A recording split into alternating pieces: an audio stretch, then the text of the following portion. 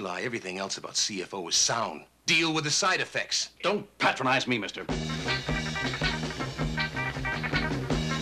Well, diagnosis is definite now. Hodgkin's disease.